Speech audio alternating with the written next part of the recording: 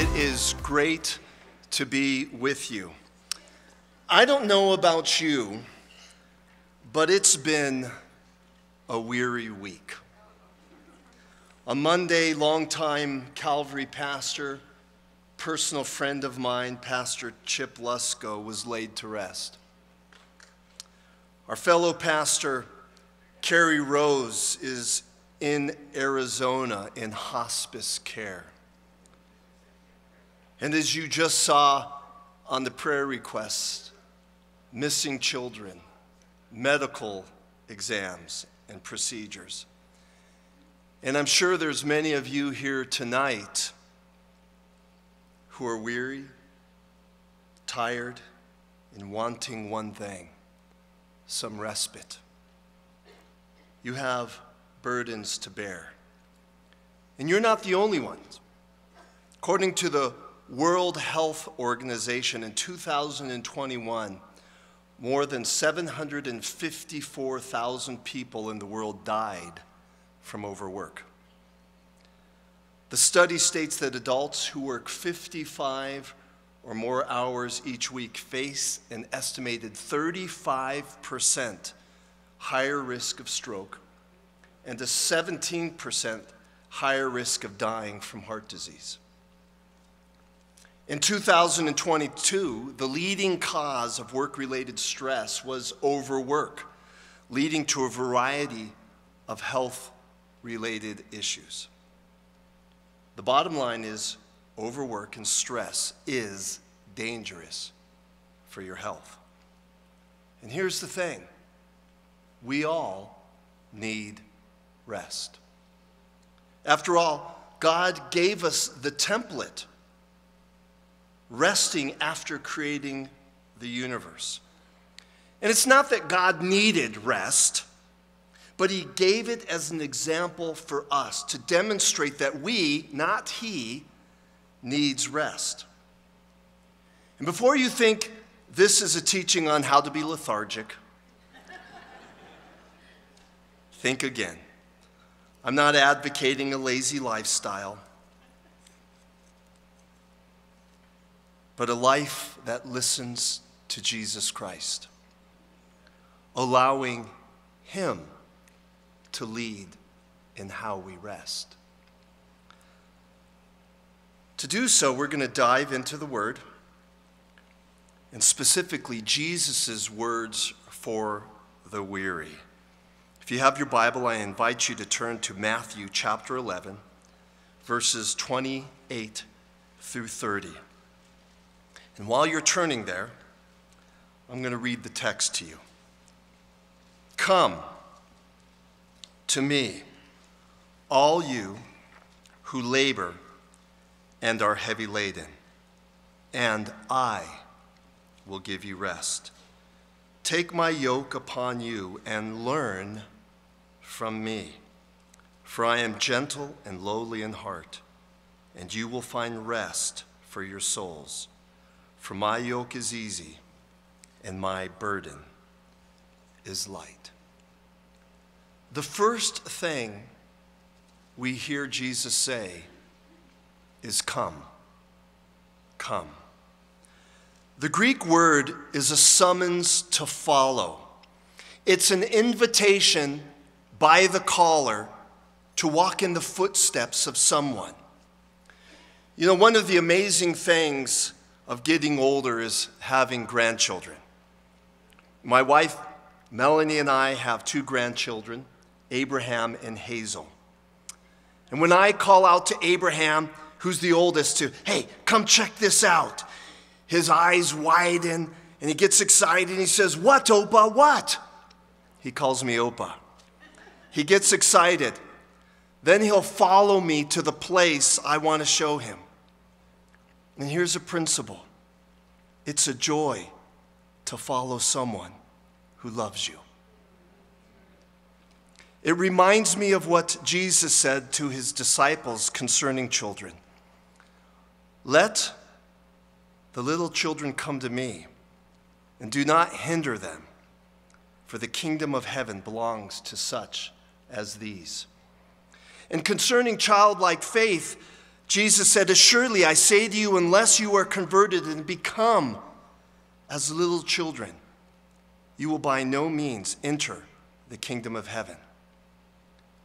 So, the first thing Jesus tells us in resting is to come.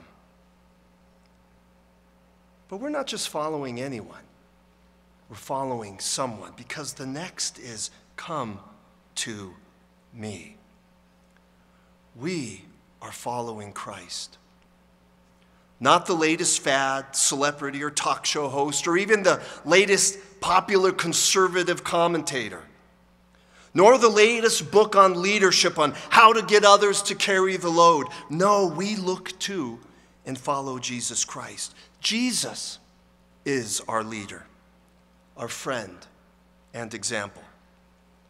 Jesus says, Follow me, roughly 13 times in the Gospels. So when it comes to rest, how do we follow Jesus? If we were to do an in depth study of Jesus' life tonight, we'd find that he lived a very balanced life. Yes, he worked hard and was pressed and persecuted, but he also rested, taking time for prayer and personal reflection. Jesus had his life in order. I'm going to give you three examples. First, Jesus rested. In Matthew 8 23 through 25, it says, Now when he got into a boat, his disciples followed him. And suddenly a great tempest arose on the sea, so that the boat was covered with waves. But Jesus was asleep. When a storm arose, the disciples were restless, but Jesus was resting. And when storms arise in our life, our job is to rest in Christ. So Jesus rested. Secondly, Jesus prayed. Luke 6:12 said, "Now it came to pass in those days that he went out to the mountain to pray and continued all night in prayer to God. Here's the principle when pressure is built, Jesus prayed. One way to look at prayer is that prayer is resting in the arms of God, finding solace in the Savior. So Jesus rested, Jesus prayed, and Jesus at times was solitary. He was alone. John 6 15 says, Therefore, when Jesus perceived that they were about to come and take him by force to make him king, he departed again to the mountain by himself alone. Principle when Jesus recognized distress, he sought rest. He sought sol- solace and stillness in being alone with God. Further, in Matthew 14 23, we read, And when he had sent the multitudes away, he went up on the mountain by himself to pray. Now, when evening came, he was alone there. There are many other passages, of course, that I could say that underscore my point, but these give us a glimpse of Jesus' composed life, a picture of who we are following. In all three situations, Jesus balanced the quick with the calm. So, we have the call, come. We have the person, to me. Now we move to the audience. Who is Jesus calling? And it's the next word, all. The Greek word for all is pas, and it means any, every, whosoever, and whatsoever. Jesus' call is to all. And here's the reality all of us, every human being, needs rest. And ultimate rest is found in Christ. So I suggest to you true rest comes in three stages. And maybe you're in one of these, well, you would be in two of those stages. In the third stage, you wouldn't be here. But stage one is salvation. We are not truly at rest until we have a relationship with God, concord with our Creator. We are not at rest until we realize that Jesus is our peace, as Paul proclaims in Ephesians 2:14. So salvation is the first step in true rest. The second is sanctification. As Christians, we learn to grow, to learn to rest in the arms of our Savior, growing in grace, in love, in Christ's likeness. This is the sanctification process, and I dare say it's where most of us are here tonight. This type of rest is the acknowledgement of whose hands hold us and whose hands mold us. So there's salvation, there's sanctification, and thirdly, there's eternal serenity, heaven. When this tent, our body, as our brother Chip Lusko experienced, fades, we are given eternal rest, residing with Christ forevermore. And in heaven, we're learning and loving in God's presence with perfect peace.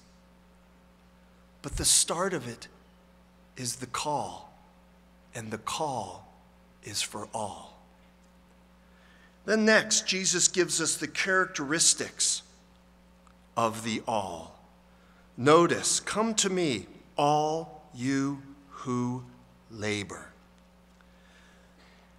That Greek word there signifies a feeling of fatigue, of exhaustion, of weariness with life and work.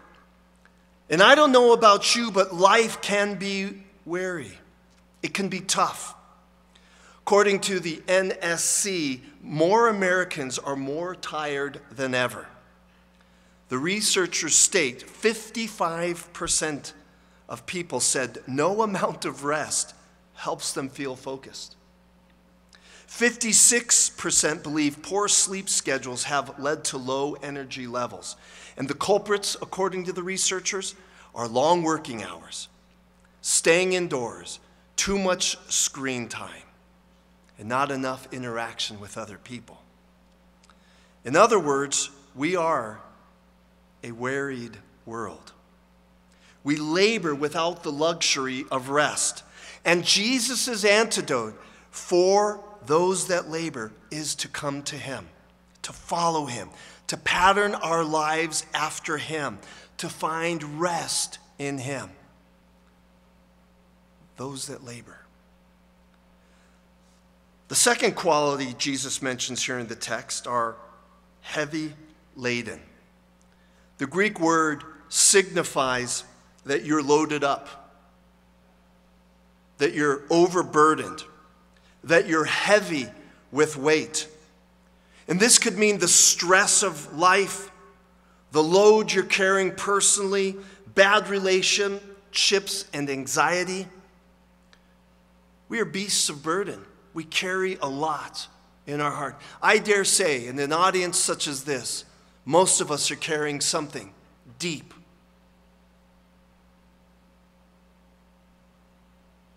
According to the National Institute of Mental Health, 31% of adults experience severe anxiety.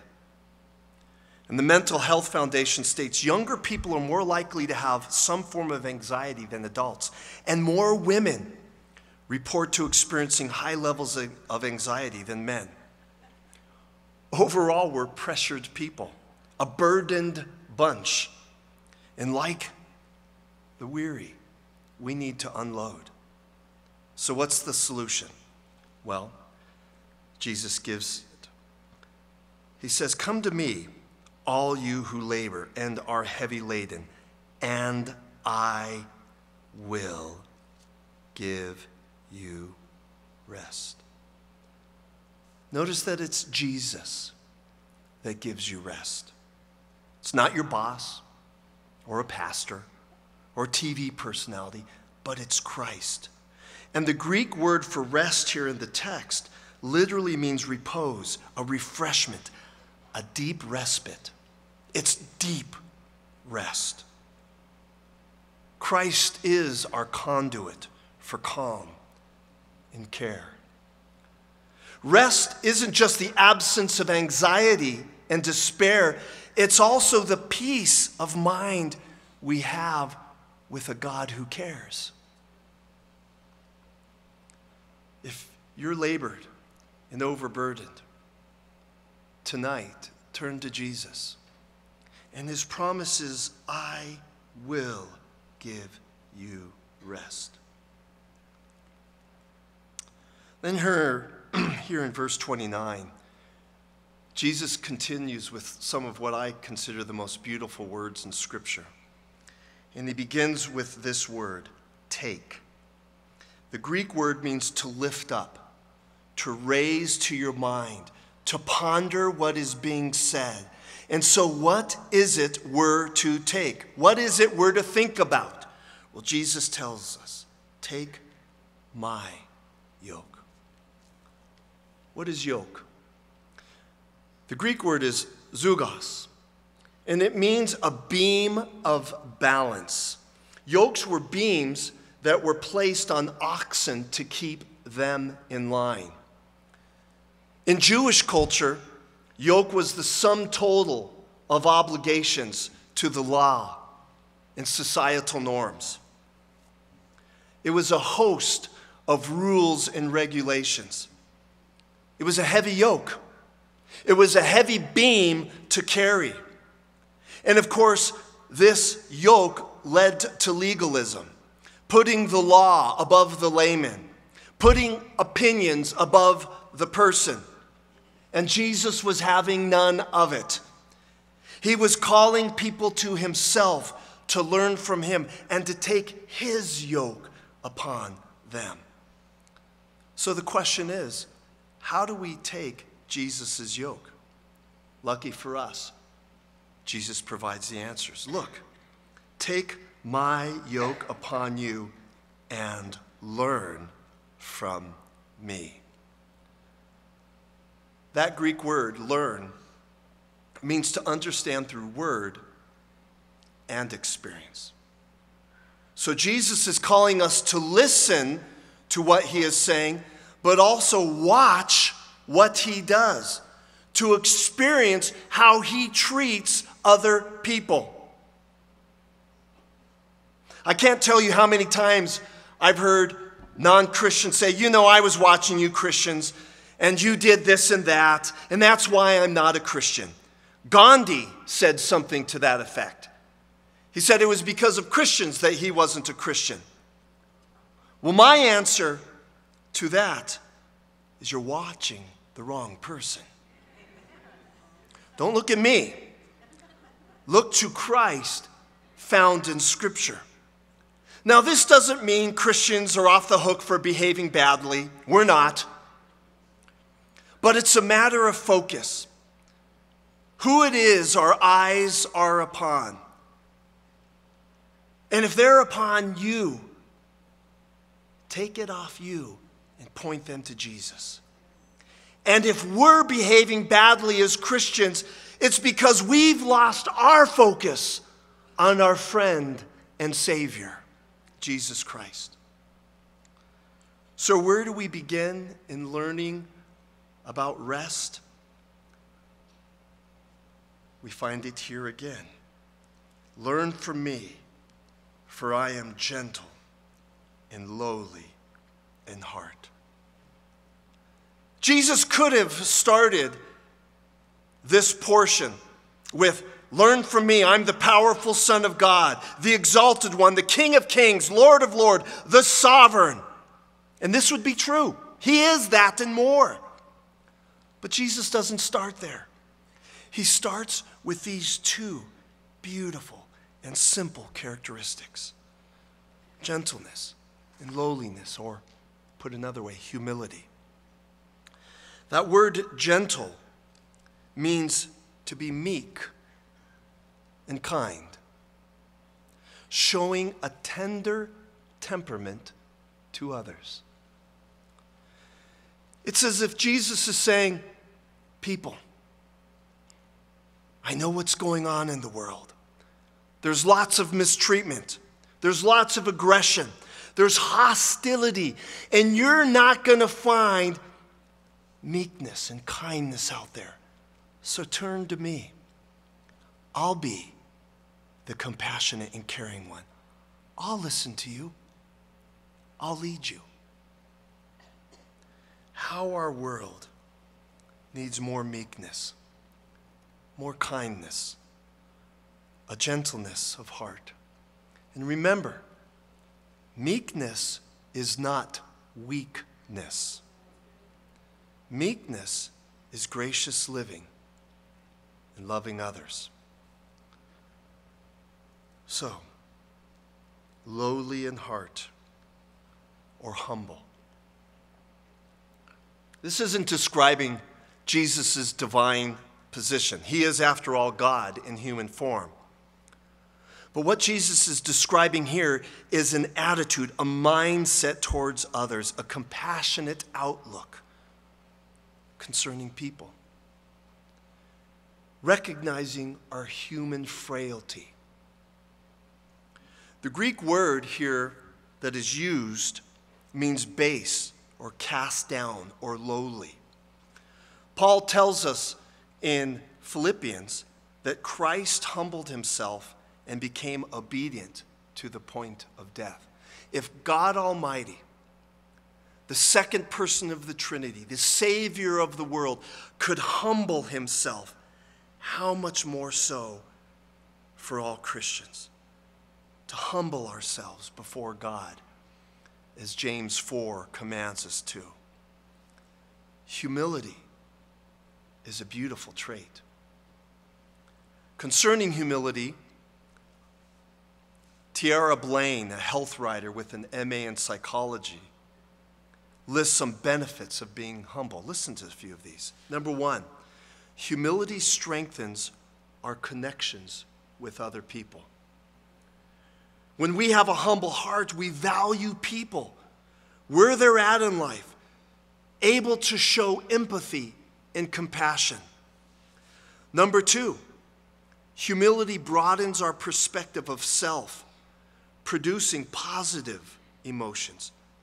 When we're humble, we get a better sense of who we really are. And that produces constructive feelings for self and others. Because we recognize we're not up here.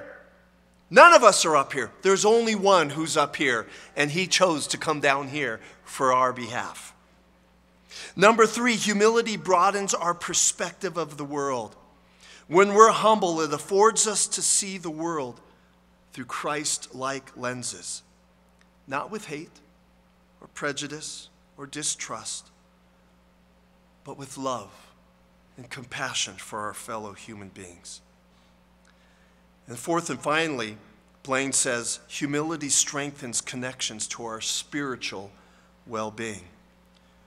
When we're humble, we have a realistic view of ourselves we understand we're needy people. We're in need of a Savior. And we know who is really in control. And guess what? It's not us. So, in short, a humble attitude strengthens our relationship with self, with others, and with God. But notice what Jesus says next. He says, Take my yoke upon you and learn from me, for I am gentle and lowly in heart, and you will find rest for your souls. And verse 30 For my yoke is easy, and my burden is light. Easy. Interesting. The Greek word means gracious or good or kind. So Jesus is saying, My way is gracious. My way is kind. So, what is it easy about Jesus' way, what he's telling us here in the text? I'll give you two quick thoughts. Number one, it's simple. It's not full of cultural restrictions, it's not rules and regulations, but a clear call to love. Two, it's sensible. Anyone can learn to do it. You don't need a PhD in meekness and a masters in humility. We all can live a life of gentleness and kindness. It's an act of the will. If you were to think about the totality of Jesus' teaching, he boiled it down to two essential things, right? In Matthew 22, 36 through 40, he states one, that we love God with our heart, soul, and mind, and two, that we love others as ourselves. We love our neighbors. And Jesus concludes by saying, All the law and the prophets hang on these two commandments. Put another way, Jesus asks that we return the love to Him that He is giving to us, and in turn, we share it with others. It's all about love.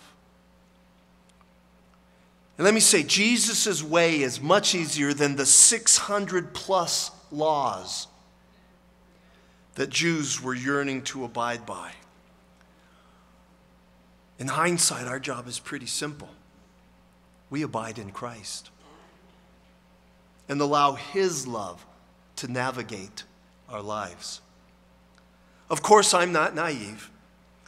I know there's more to the Christian life, but this is where we start by loving God, loving others. And the final thing I'll comment on in the text is Jesus says, My burden is light. The Greek word for burden means a service or task. So Jesus is saying, What I'm calling you to do, the task I'm calling you to do is light. Unlike the many tasks of religions and, wor- and the world's um, burdens it places on us, Jesus is not asking us to carry a heavy load. He's just asking us to carry Himself. In a play on words, Jesus is the light of the world, as John records. So, my question to you is Are you carrying the light of the world in your life? Have you afforded Jesus to take up residence in your life to bear the burdens that you cannot do on your own? Many of us are hurting in this room. There are many heavy hearts. And my prayer is that His load that you carry will be much lighter than what the world has to offer. And I don't know about you, these are some of the most gracious words ever spoken. When I'm tired or troubled, I turn to them, like this week. I revel in their simplicity and their solace, and I hope you do as well. We live in boisterous and calamitous times, and Jesus responds with these beautiful and comforting words simply an invitation to follow him. So now that we've exposited the text, let's get practical just for a few minutes. According to psychologists, humans need seven types of rest. We need physical rest, our bodies need rest. We need mental rest, our brains need rest. We need sensory rest. For those of you who were not a science teacher like I was, let me remind you of the senses the human body has sight, smell, sound, taste, touch, balance, internal and external awareness. And guess what? It all needs rest. We need creative rest.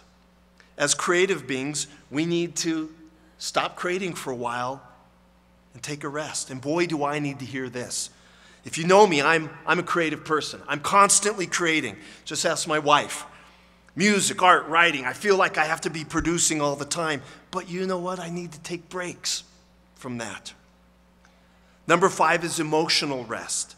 Our emotional self. The feelings we have and the feelings we radiate towards others. We need rest. Number six is we need social rest. We need breaks from other people those we love and maybe those we don't love so much. We need rest from people. Again, Jesus modeled this for us. I'm not just telling you this out of the thin blue air. And then finally, we need spiritual rest. This includes our inward state and our external outward state in serving others. We need to take breaks at time and focus on the Lord. With this last point in mind, let me lead you or leave you with an acronym for rest. And my prayer is that you'll take it to heart and just do that rest. And in a few moments, I'm going to give you an opportunity to do so. R is reflect. Reflect on God's goodness, on His love, on His beauty, His creation, the gifts of life that He has given, and remember that His burden is light. So bask in His light. E is enjoy. Enjoy what God has given you, not what you want, but what He has provided. Remind yourself that Jesus is meek and lowly, and an enjoyment is ultimately found in Him, in His kindness, and His compassion. It's not rules, but who rules you. S is solitude. We need alone time with God. Take time for silence and solitude. Find solace with Christ. This can be a simple walk around the block or a retreat or a bike ride around the neighborhood. But develop the discipline of silence and solitude. Be like Jesus. Find time to be alone. And that leads us to T, time. There's one thing all of us need more of. It's not money, it's not intelligence or better love life. It's time that we need. But it's the good use of time that matters. Don't blow your time on nonsense, but put on things that make sense for the kingdom. Putting your faith, your family, friends, and future first. How do we do this? I'll quickly give you five P's. Prioritize. Prioritize what is important. This means learn how to say no. Two, plan accordingly. Once you've prioritized, put a plan in place and follow through. Three, process. Think through what it is you're doing, assessing its effectiveness. Ask, is my plan working? If it is great, continue. If it's not, you need to four, pivot. Find ways to improve your process if it's not working. And then five, get personal with God and with others. Be who God made you to be. Spend time with the Lord and your loved ones. Speaking of personal, if you don't have a personal relationship with Jesus Christ tonight, I invite you in the quietness of this time, this next 25 minutes, to turn to Him. Reach out to Him. And I promise you, He will give you rest. He'll give you the peace of mind you need. But for the majority of us in this room who are Christians, we need rest. Maybe you're hurried. Rest in Him. Maybe you're worried tonight. Rest in Him. Maybe you're just weary rest in Him? The answer may be simple, but it's sure. Turn to Christ, and He will give you rest. We hope you enjoyed this special service from Calvary Church. We'd love to know how this message impacted you. Email us at mystory at calvarynm.church. And just a reminder, you can support this ministry with a financial gift at calvarynm.church/give. Thank you for joining us for this teaching from Calvary Church.